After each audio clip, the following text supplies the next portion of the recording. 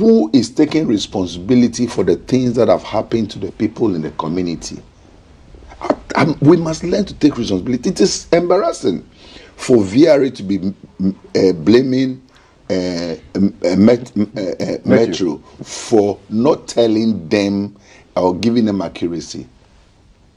At least the little history I know tells me that 1991 it happened. And then 2020, 2010 it happened. 2010 it happened. So 1991, 2010, 13 years ago it happened. What measures did we put in place? We didn't put any measures in place. We live in a nation where people share responsibilities. They don't want to take shape, they don't want to take responsibility, and we do blame game. Unfortunately for us, the most unwisest thing every politician is doing now is politicizing the situation. When human life is at stake, this is not about NDC and NPP. Kafui and Sheikh. It's about humans' life. The mm. people are dying. Some are NPP, some are NDC, and so we should not politicize a situation like this. We should look at the the human beings and the places that people have lost things. The crusade we are doing at Didome, in fact, I started yesterday. We're finishing tomorrow on Friday. So when I finish here, I just came to Accra because of this program. I'm going back to Adidome. We are asking ourselves who is responsible and who has not looked at it. Then what other thing I say, Sheikh, that is very important to me is that we politicize it by saying we are setting up a parliamentary subcommittee. Let's be very honest with ourselves. What kind of respect do people put the parliamentary committee?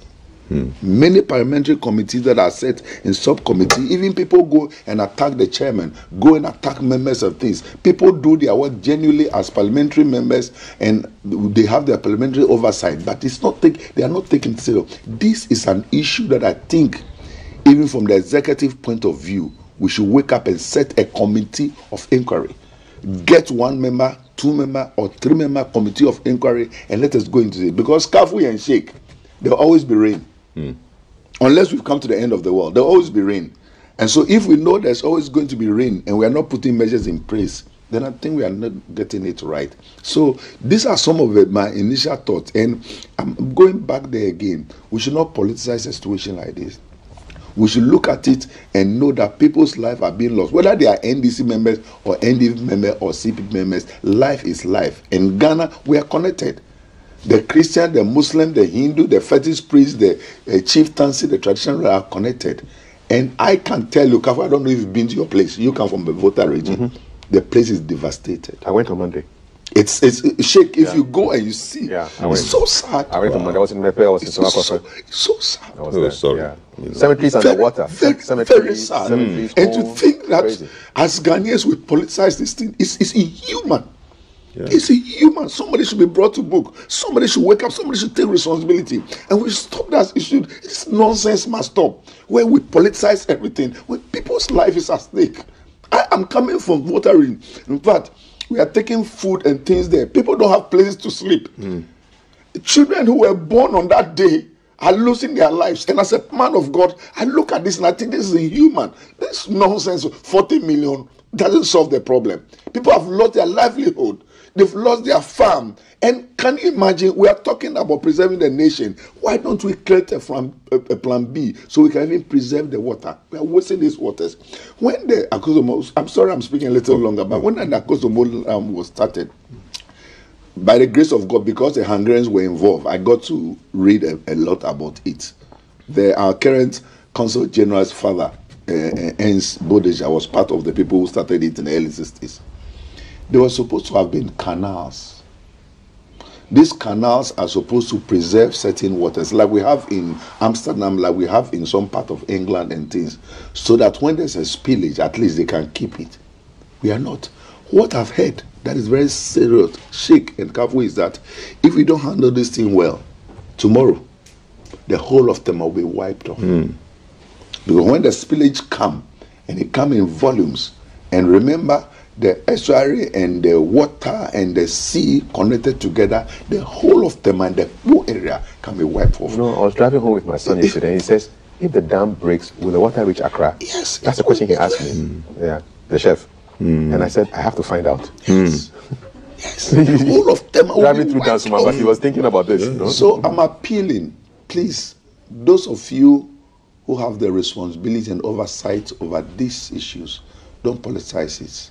And also learn to take responsibility. Seriously speaking, I'm expecting a positive statement from the presidency. I'm expecting a positive statement from the powers that be.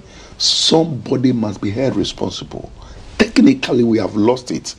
And what is hydrology? What is water? And rather, the nonsense that is happening now, and, and I don't pardon myself at all for using the word nonsense because it doesn't make sense. Absurdity is that we are trying to use jargons. You hear some of the people talk on TV, and what the, the things they are saying, the ordinary man doesn't understand. Why didn't we inform the people in the area? And so we informed them. How did we inform them? Actually, I went there and I asked about people. Like, um, were you informed? They said they knew, they knew nothing. They knew nothing. They didn't know. All of a sudden, they woke up in the morning. There they was said water, water up to their knees. The chiefs. Yeah. I, I, I'm coming from Adidome. Yeah. Last night I slept in Adidome. I left this morning at 4 o'clock a.m. just so I can make it here. We're grateful. People of the Volta region, most of the chiefs, it is MCs that showed them uh, some circular that came. It is not about secular.